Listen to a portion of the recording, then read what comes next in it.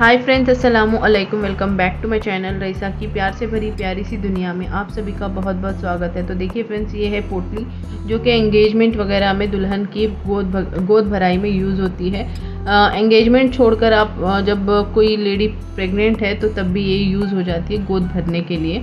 तो हमारे यहाँ पर कर्नाटक में तो यूज़ होती है। तो ये मैंने खुद बनाया था, खुद ने डिज़ाइन किया था। अगर आपने ये नहीं देखे पोटली तो आप जाकर मेरे चैनल पर सर्च कर सकते हैं फरीक की इंगेजमेंट के व्लॉग्स में। ये पोटली आपको दिख जाएगी देखने में, आपको मतलब एक आइडिया मिल जाएगा कि किस तरह से मैंने बनाने के बाद किस तरह से लग रही थी। तो काफ़ी अच्छी लग रही थी। इस व्लॉग में मैं आगे आपको क्लिप्स ऐड कर दूँगी इंगेजमेंट के, देखने को मिलेगा। अगर आप वहाँ पर नहीं जाकर देखना चाहते तो यहाँ पर भी देख सकते हैं। तो इस पोटली को बनाने का आइडिया मेरी अम्मी ने दिया था। खुद मैंने डिज़ाइन किया है। काफ़ी अच्छी बनी थी। सबने बहुत तारीफ़ की तो चलिए देख लेते हैं किस तरह से इसको बनाना है। तो चलिए। यहाँ पर मैंने लिया है हैवी वाला वेलवेट का एक मीटर कपड़ा, कॉटन का एक मीटर कपड़ा। लाइनिंग के लिए यहाँ पर कैंची ली है। साथ में चौक लिया है और यहाँ पर टेप लगेगा और यहाँ पर पिंस लगेंगे कपड़े को अटैच करने के लिए। साथ में लेस लगेगी। तो देखिए फ्रेंड्स यहाँ पर लेस जो है आप अपने अकॉर्डिंग ले सकते हो जैसा आपको पसंद है। लेकिन मैंने यहाँ पर ना दो टाइप के लेस लिए हैं। एक मैंने सादी ली है। दोनों ही लेस जो है डेढ़ डेढ़ मीटर लेकर आए थे हम लोग वन एंड हाफ़ और वन एंड हाफ़ तो लटकन वाली लेस जो है ज़रूर से मैं सजेस्ट करूँगी, आप ज़रूर से लगाइएगा क्योंकि इसका जो लुक है ना, वो एक अलग ही लुक देता है जब आप इसको इस तरह की लेस लगाते हैं। तो बाकी और चीज़ों के लिए ये प्लेन वाली लेस भी लगती है। तो चलिए फ्रेंड्स अब बारी आती है कपड़े की। तो यहाँ पर हमने लिया है लाइनिंग के लिए प्योर कॉटन का एक मीटर कपड़ा लिया है। साथ में एक मीटर यहाँ पर हमने एकदम हैवी वाला वेलवेट का कपड़ा लिया है, जो कि हमें बहुत ही ज़्यादा कॉस्टली मिला था। गोवा में थोड़ा सा कॉस्टली होता है। ये साढ़े तीन सौ रुपये का हमें मिला है एक मीटर। तो ये हमने लिया है। वहाँ पर कम रेंज में और अलग मतलब एकदम लाइट कलर का भी था, लेकिन हमें कलर यही चाहिए था, क्योंकि थोड़ा सा देखने में रॉयल लुक लगेगा और कम मतलब कम प्राइस का अगर आप कपड़ा लेंगे तो उतना स्टिफ नहीं रहेगा। इसमें स्टिफनेस ज़्यादा अच्छी रहेगी तो इस वजह से हमने कॉस्टली वाला ही ले लिया। तो देखिए फ्रेंड्स यहाँ पर सबसे पहले मैं दो हिस्सों में कटिंग कर रही हूँ, यानी कि आधा आधा मीटर जो है कपड़ा, वो मुझे इस तरह से कटिंग करना है ताकि कपड़ा जो है बिल्कुल भी हिले नहीं। तो इस वजह से मैं यहाँ पर कटिंग कर ले रही हूँ, फिर कपड़े को जोड़ लूँगी मतलब कि एक के ऊपर एक रख कर राउंड जो है कटिंग करेंगे, फिर जो बचा कुचा कपड़ा होगा ना साइड का वो कपड़ा हम बाकी और चीज़ के लिए यूज़ करेंगे, यानी कि ऊपर वाला हिस्सा बनाने के लिए। अब ये जो है नीचे वाला बॉटम बनाने के लिए, यानी कि जो राउंड हिस्सा होता है पुटली का, वो बनाने के लिए यूज़ करूँगी। तो देखिए फ्रेंड्स, यहाँ पर हमें इस कपड़े के मतलब लंबाई के हिसाब से इस तरह से मैं ले रही हूँ। जैसे जैसे मैं कर रही हूँ, वैसे ही कीजिएगा। यहाँ पर मैं बिल्कुल भी कोई मेज़रमेंट नहीं ले रही हूँ। अपने अकॉर्डिंग जितना अंदाज़न मैं बना सकती हूँ, उतना बना रही हूँ। तो यहाँ पर राउंड शेप मुझे कटिंग करना था तो मैं राउंड ले रही हूँ इस तरह से।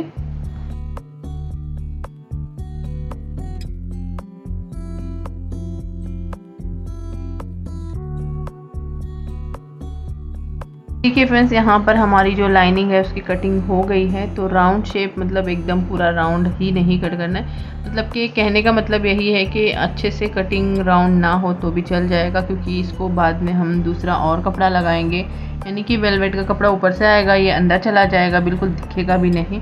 और इसके ऊपर फ्रिल्स भी आएँगे तो मैंने कटिंग कर दी है। तो चलिए अब कर लेते हैं वेलवेट का जो कपड़ा है, उसको कटिंग करते हैं, इसको ऊपर रख कर तो देखिए फ्रेंड्स यहाँ पर मैंने ले लिया है मेन फैब्रिक तो बस इस फैब्रिक को हम फोल्ड करेंगे और यहाँ पर जो लाइनिंग का हमारा कपड़ा है ना, जो हमने कटिंग किया है राउंड शेप में, उसको इसके ऊपर रख देंगे और अच्छे से रखने के बाद हम इसकी कटिंग कर देंगे।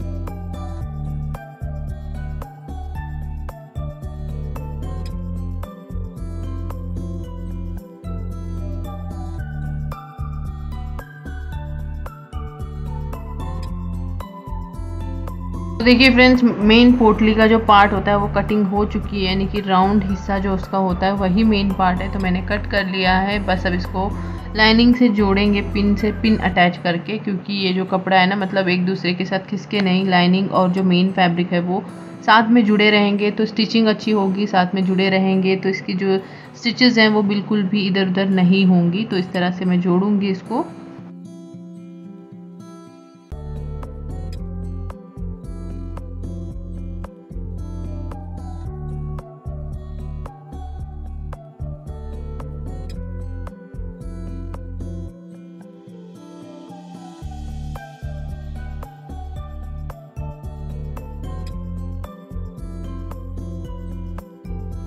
तो देखिए फ्रेंड्स यहाँ पर हमारा जो मेन फैब्रिक है, उसके ऊपर मैंने पिनअप कर दिया है लाइनिंग के साथ में। अब यहाँ पर जो बचा हुआ कपड़ा था, वो ले लिया है, क्योंकि इसमें मुझे बनाने हैं फ्रिल्स तो फ्रिल्स जो है, मैं अपने जितना कपड़ा बचा हुआ ना, उसके अकॉर्डिंग ही बनाऊँगी। तो यहाँ पर मैं ले रही हूँ तकरीबन छः से साढ़े छः इंच का कपड़ा ले रही हूँ, जिसको कि लंबाई में तकरीबन समझ लीजिए जो राउंड है ना, वो राउंड के हिसाब से उसका, जो राउंड आप अपने अकॉर्डिंग जितना बड़ा आप बना रहे हो उसके अकॉर्डिंग यहाँ पर मेज़रमेंट लीजिएगा। तो यहाँ पर ना मैंने अंदाज़न कट किया था तो वही यहाँ पर चेक करके मैं इसका जो राउंड है उसके हिसाब से ले लूँगी। यहाँ पर आप अगर फ्रिल्स मतलब आपको जितने फ्रिल ज़्यादा रखने हैं, उतना ज़्यादा फ्रिल के लिए कपड़ा ले लीजिएगा। जितने कम रखने उतना कपड़ा कम ले सकते हैं।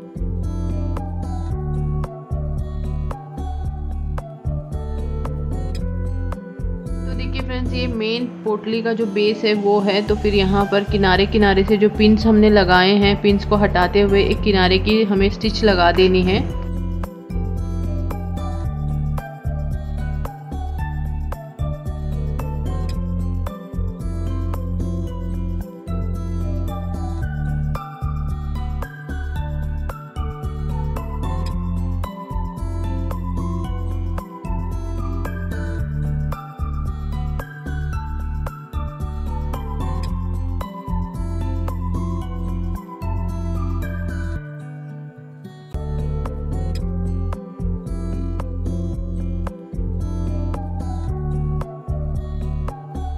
तो देखिए फ्रेंड्स यहाँ पर हमारे पास बेस का जो हिस्सा है, वो एक हिस्सा जो है तैयार हो गया। अब जो है, दूसरा हिस्सा भी तैयार कर लेते हैं।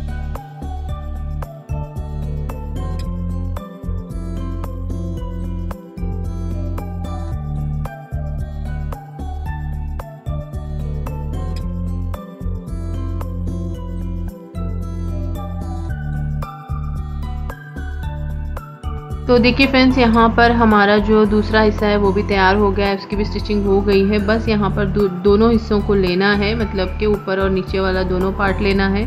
वेलवेट की साइड जो है अंदर की तरफ़ होना चाहिए लाइनिंग का पार्ट ऊपर होना चाहिए और इसमें ना चार से पाँच इंच का गैप रखते हुए हमें स्टिच लगानी है पूरे किनारे को। मतलब कि जो राउंड है ना पूरा ही लगाना है। बस थोड़ा सा चार से पाँच इंच का गैप रखना है वहाँ पर सिलाई नहीं लगानी है।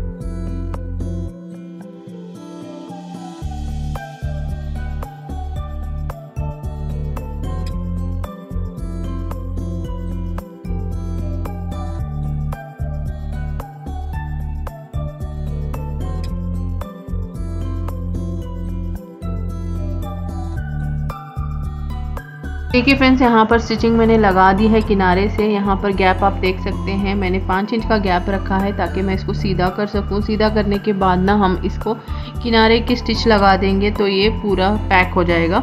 फिर यहाँ पर इसको सीधा करना है। सीधा करने के बाद हम इस कपड़े को रखेंगे। चाहे आप ऊपर वाला हिस्सा ले लीजिए या फिर नीचे वाला हिस्सा ले लीजिए। कोई भी हिस्से पे आप ना बीच में राउंड एक कटिंग कर लीजिए। मतलब एक छोटा सा सर्कल बनाकर कटिंग कर लीजिएगा। और हमें उस सर्कल को एक अटैच करना है कपड़ा, जो कि चेंज का होगा, ताकि वो लंबा, लंबे में आ जाए। ये राउंड जो पार्ट है, वो नीचे रहेगा, जिसमें कि हम सारी चीज़ें भरेंगे तो ये नीचे चला जाएगा। तो ऊपर भरने के लिए कुछ चाहिए होगा ना तो उसको राउंड हमें लगाना है। तो एक छोटा सा सर्कल बनाइएगा, उसके ऊपर चेंज का कपड़ा लगा दीजिएगा। फिर हम लगाएँगे उसके ऊपर फ्रिल्स यहाँ पर जो फ्रिल्स लगाने हैं तो वो हमें लास्ट वाले पार्ट को, यानी कि राउंड जहाँ पर है, वहाँ पर लगाना है। ऊपर से जो छोटा सर्कल हमने बनाया है, वहाँ पर भी फ्रिल्स लगाने हैं। ऊपर से हमें डोरी बनानी है मतलब डोरी बांधने के लिए, जैसे हम सलवार के लिए डोरी बनाते हैं, उस तरह से बनाकर फ्रिल्स लगाने हैं लेस लगानी है। और यहाँ पर हमारा जो प्यारा सा पोटली है, वो तैयार हो गई है। काफ़ी यूनिक लग रही है, आप देखिए, नीचे से भी इसका वेलवेट काफ़ी अच्छा लग रहा है। जब इसको गोद में रखेंगे तो ये और अच्छा लगेगा।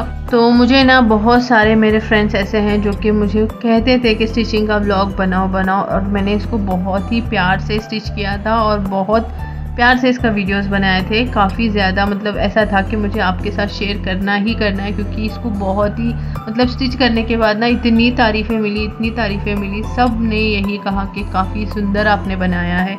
काफ़ी सोच समझ कर बनाया है तो बहुत अच्छा लग रहा था मुझे बनाने के बाद भी। बहुत ज़्यादा मैं खुश थी, लेकिन इसके क्लिप्स ना मिस हो गए तो मैं बहुत ज़्यादा उदास हो गई थी। इस वजह से मैंने ख़ास कर इसको शेयर नहीं किया था, क्योंकि मुझे अच्छा नहीं लग रहा था। फिर मुझे अब लगा के, चलो भाई, आपके साथ मैं अपनी जो सिचुएशन है, वो शेयर करूँगी। तो आप भी समझ जाओगे और आप लोग मुझे बहुत ज़्यादा अंडरस्टैंड करते हो। तो इस वजह से मुझे लगा कि आप तक शेयर करना चाहिए। तो ये सारी रस्में हमारे यहाँ पर होती है, जब गोद भरी जाती है, उसके बाद इस गोद को माँ के गोद में दिया जाता है। तो वो सब चीज़ें यहाँ पर चल रही है और ये जो पोटली है ना, सच बता रही हूँ, यहाँ पर जितने भी लोग थे एंगेजमेंट में, सबने तारीफ़ें की है।